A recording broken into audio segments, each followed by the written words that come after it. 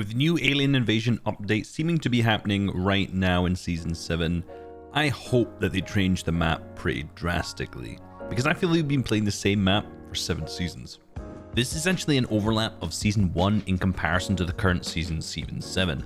Now you can see that there is a few changes in particular at the top left, they added Coral Castle, the centre has changed a little bit, they've added Stealthy Stronghold at the top two, then they've added some minor little spots on the map and obviously changed Corny around too.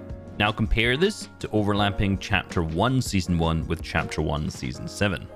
Now you can see the massive differences in particular with the snow biome and obviously the sand biome aka the desert biome in the bottom right too. Massive map changes overall which hugely contributed to playing basically a different game. And this was before in season 8 where they ended up changing the top right corner as well to include the kind of forest with the volcano biome as well. And this changed the gameplay and the playstyle of this corner of the map hugely. So moving back to chapter 2, let's dive a little bit deeper into what some of these changes have been over the course and why they felt so similar. Now the changes between season 1 to season 2, you can see there was 5 additional changes. They added the shark, they also added the yacht, they added the grotto, they changed the mid-map section to be authority or agency, and they also added the rig. 5 new spots on the map, all changing drop spots, rotational paths, and overall this map was still new at the time, so these new changes and additions were very, very welcomed, mainly because these were relatively minor changes that had a big impact. And another big impact was the next season, which was Chapter 2 Season 3, which completely demolished a huge proportion of the map by putting it underwater. There were changes everywhere, including Fortilla and UPOY, Half of the top left had pretty much completely disappeared. A lot of the map had generally been rearranged, in particular where Steamy Stacks underneath to the south of it had this new little island, and there was a couple good spots around here too. This changed the flow of the game in a massive way. However, as the weeks went on, the water levels slowly started to rise until eventually we just saw the old same map that we were used to. This map did have the ruins which ended up being Coral Castle, Fortilla and Rickety Rig still in place, along with the yacht, which had moved straight to the north above Craggy Cliffs. Again, some good changes around the outside of the map, in particular with the whole new top left corner being the ruins, and included the addition now of Catty Corner, so another new POI. Overall, because the chapter was still relatively fresh at this time, I do think these map changes were still very, very positive. They were adding little spots around the map in terms of, you know, Catty Corner, they'd kept the Fortilla and the Rig, which were very, very good additions to the game, all pretty much positive at this time. However, I was a little bit disappointed this season given they just completely scrapped the whole water idea that they had and for a competitive ended up being an FNCS, which was the solo season, this war was just completely gone and again it was basically a very similar map to the last two.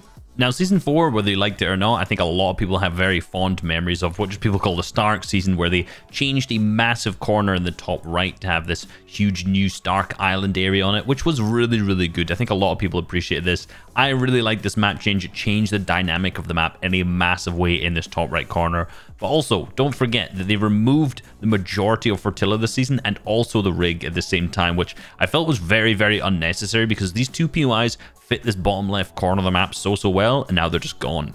Now, coming into Season 5, this is where we start to see more trends that occur. We see that large Stark Island just completely disappear, and now we're back to this new interesting sand area in the middle of the map. Now, the small remains of Fortilla are completely gone as well, back to what it was originally with a couple little houses down in these two areas.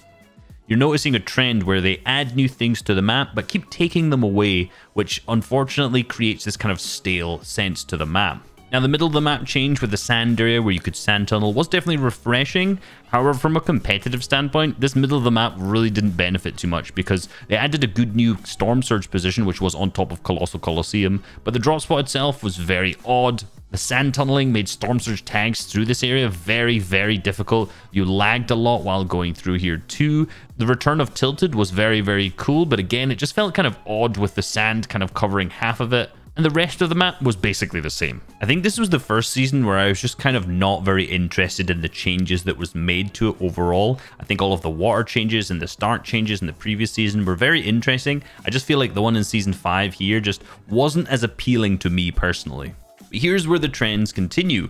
They just remove it the next season, and it's completely gone. Similar to the Stark season in Chapter 2, Season 4, and then the Water season in Chapter 2, Season 3, they had these big changes to the map and then just undid them and replaced it with something else, leaving the majority of the map the same. This season, the Spire was now added to the center, and they did change quite a few POIs, changing Colossal Coliseum to Colossal Crops. The old Tilted changed to Boney Burbs, which is basically the same thing, just a bony version of it. There's a few smaller areas around the map that added some loot, which I really, really liked, but unfortunately, this was Primal Season, which was just not that enjoyable, in my opinion.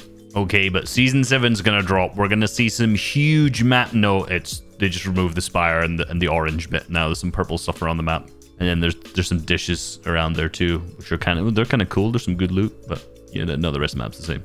So since Chapter 2, Season 1, here's the POIs that have not changed. Steamy Stacks, Craggy Cliffs, Dirty Docks, well, it kind of went underwater in Season 3, but you know, well, let's not count it. Retail Row, Lazy Lake, Misty Meadows, Slurpy, which is changing right now as I speak, and Sweaty Sands marginally changed during the water season as well, where it half became underwater, but basically it was the same thing. You know what else hasn't changed? The overall structure, the hills are nearly all exactly the same since Chapter 2 Season 1, with no real innovation and no real changes at all. Any of the cool changes that were put in, in say Chapter 2 Season 3, 4, 5, or 6 have all just been reverted back to basically the exact same map that we're used to. I think a lot of us fell in love with the game because of these big new changes in Chapter 1 that we saw over and over again. But come Chapter 2, I feel like we've just been playing on the same map for almost two years at this point. And as an analyst, I'd love to have some new strats in terms of rotations, in terms of storm surge positions, in terms of new POIs and potential drop spots for teams to be at. And I do hope that at least sometime soon we get some major map changes. Hope you guys enjoyed this video and learned a lot. Peace.